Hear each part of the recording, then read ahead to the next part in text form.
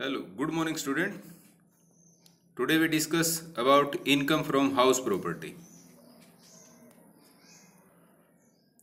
What is income from house property?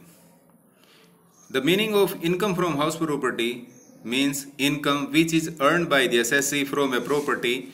If an individual owns a house property, the rent received become taxable. The actual rent received or the notional rent is referred to as a annual value. However, if the taxpayer uses this property for operating or running a business or profession, it will not be taxed as income from house property. Basics of house property tax. A house property could be your home, an office, a shop, a building, or some land attached to the building like a parking lot. The Income Tax Act does not differentiate between a commercial and residential property. All types of property are taxed under the head income from house property in the income tax return. An owner for the purpose of income tax is its legal owner, someone who can exercise the right of the owner in his own right and not on someone else's behalf. When a property is used for the purpose of business or profession or for carrying out freelancing work, it is taxed under the income from business and profession head. Expenses on its repair and maintenance are allowed as business expenditure. Self-occupied house property. A self-occupied house property is used for the one's own residential purposes. This may be occupied by the taxpayer family, parents or spouse and children. A vacant house property is considered as self-occupied for the purpose of income tax. Prior to financial year 2019-20, if more than one self-occupied house property is owned by the taxpayer, only one is considered and treated as self-occupied property and the remaining are assumed to be let out. The choice of which property is to choose and as self-occupied is up to the taxpayer. For the financial year 2019 and 20 and onward, the benefit of considering the house as self-occupied has been extended to houses. Now a home owner can claim his two properties as self-occupied and the remaining house as let out for income tax purposes. Let out house property. A house property which is rented for the whole or part of the year is considered to a let out house property for income tax purposes. Inherited property. Property inherited from the forefathers, parents, grandfathers is considered as inherited property. Income from house property become taxable if the following conditions are met. The house property comprising of the building or any land attached to it. The taxpayer is the owner of the property. The taxpayer should not use the house property to run any business or profession. Terminology is associated with income from house property. Annual value. This is the actual rent received or to be received by the property owner on retaining oh or renting out the house. Municipal value. This is the value on house property as calculated by the municipal authorities for imposing municipal taxes. Fair rent value. Fair rental value is the rent which a family which a similar property with similar feature in the same locality would fetch. Standard rent. The standard rent is determined under the Rent Control Act. If the standard rent has been fixed for any property under the Rent Control Act, the property owner cannot charge a rent higher than the standard rent fixed. Gross annual value. This is the highest of the rent received, fair market value, municipal valuation. In case of Rent Control Act applies, gross annual values will be the highest of the standard rent. Rent received, net annual value. Net annual value is calculated as gross annual value minus municipal tax paid by the assessee. Standard deduction. Deduction to ascertain the actual taxable income, the taxpayer can claim the following deduction under section 24 the Income Tax Act 1961.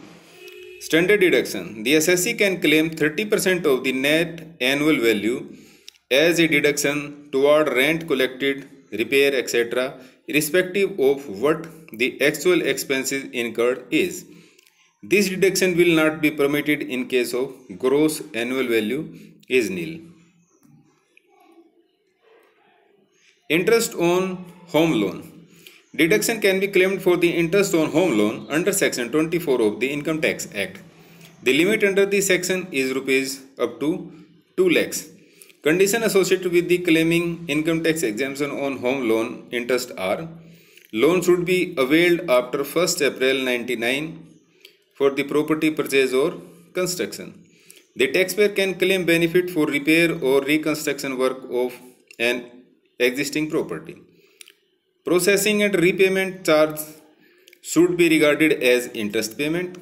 The purchase or construction need to be completed within 3 years from the end of the financial year in which the loan was availed. Annual value of self-occupied house property.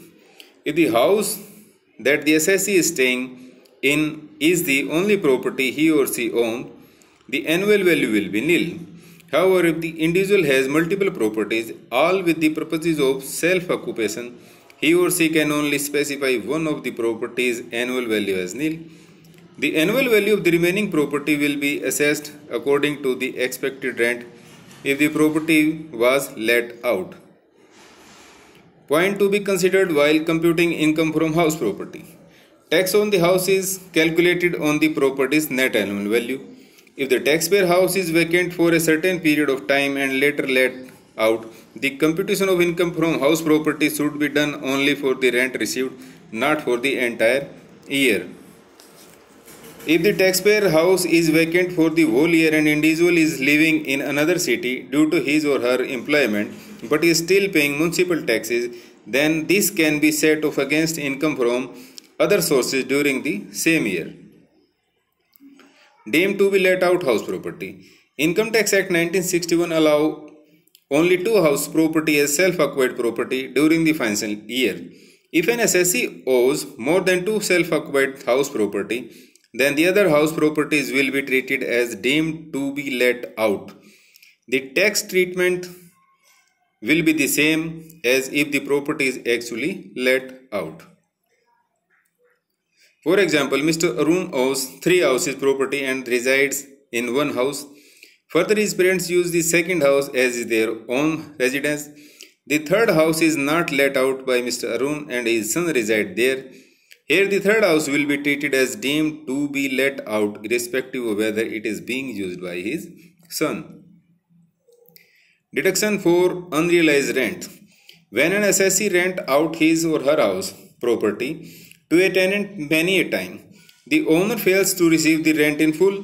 This may be due to multiple reasons like insufficient fund with the tenant and so on. The income tax department understands such situation and recognizes the burden of tax due to such unrealized rent.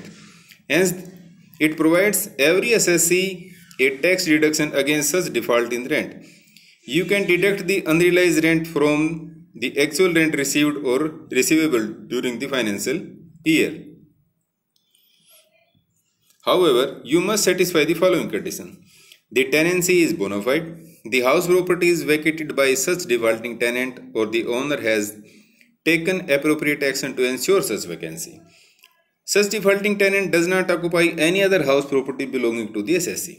Third, the assessee initiate a legal proceeding against the defaulting tenant to ensure recovery of the rent. He or she can also instead satisfy the assessing officer with reasonable cause that a legal proceeding will not be fruitful. Treatment of variance of rent and unrealized rent received subsequently. There might be cases where you have not received the rent in the past and receive in the current financial year. Such recovery of arrears of rent or unrealized rent is taxable under the head income from house property. The amount of rent is taxable in the financial year in which you have received it. Moreover, it is irrelevant whether you are still the owner of the house property in that financial year. No doubt, the rent will be taxable under income from house property, but you will also receive a 30% deduction from such rental amount. Deemed owner of house property under Income Tax Act 1961. Usually the owner of the house property is liable to pay tax on income. However, in few cases, The legal owner is not responsible for paying taxes on income. The following are the cases where the following deemed owner are responsible for paying taxes.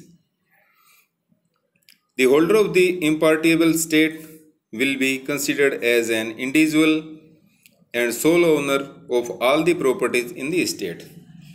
An individual who transfer any house property to his or her spouse, minor child, such individual will be liable to pay taxes.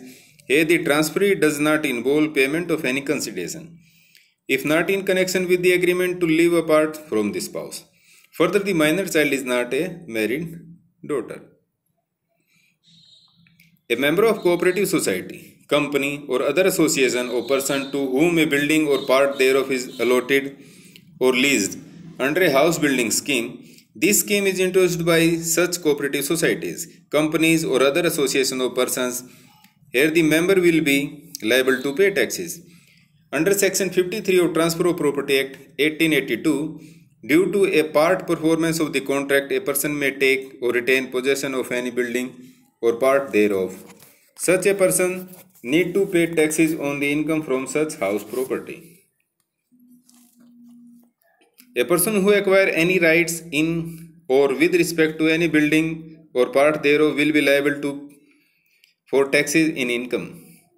The acquisition of such a building is by virtue of any such transaction as is referred to in clause F of section 269 UA. Set of losses from house property. If an assessee incur a loss from house property, then he can set off such losses against any other income up to rupees 2 lakhs in any assessment year. If the loss could not be set off completely during the assessment year, then you can carry forward such losses. You can carry forward such losses for 8 subsequent years. How to save tax on income from house property?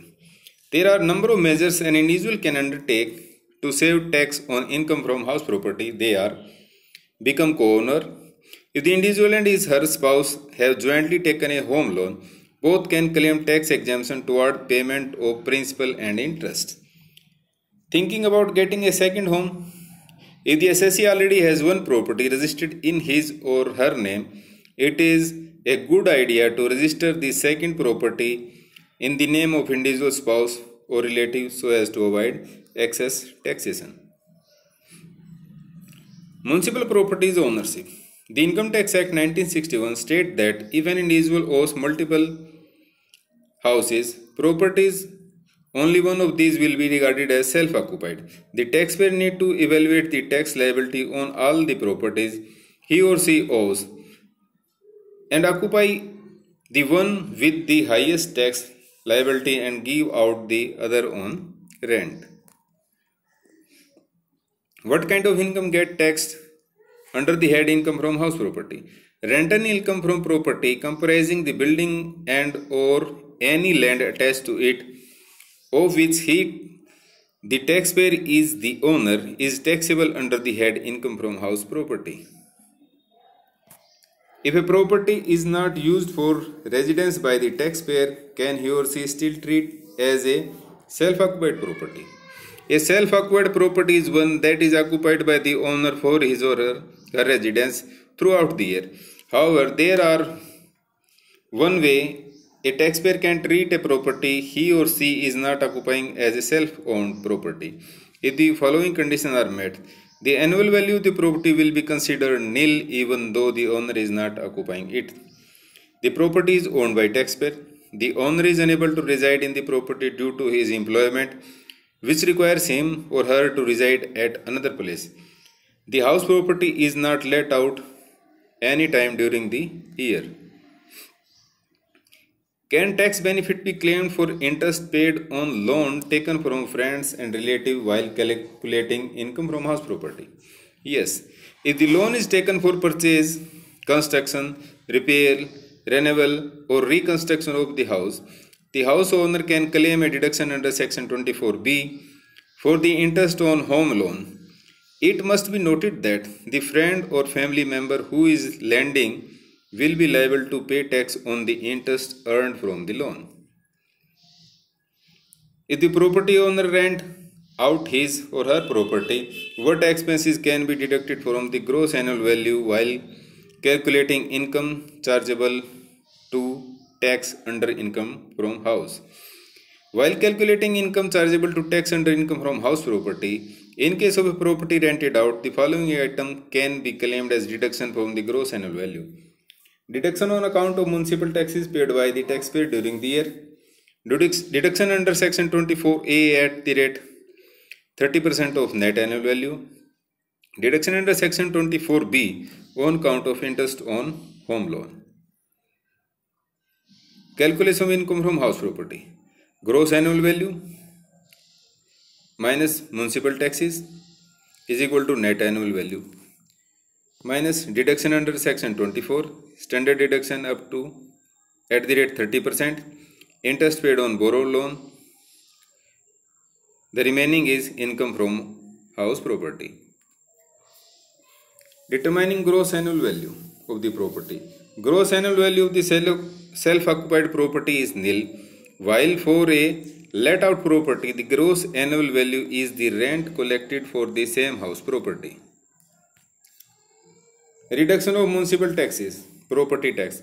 When the property tax is paid, it is allowed to be deducted from the gross annual value of the property. Determination of net annual value. When the property tax is deducted from the gross annual value, it gives the net annual value. Deduction of standard deduction at the rate 30% of net annual value. 30% of the net annual value is allowed to be deducted as a rebate from the net annual value under income tax act beyond 30% no other expenses such as repair reconstruction or painting can be claimed as a tax relief under the Act.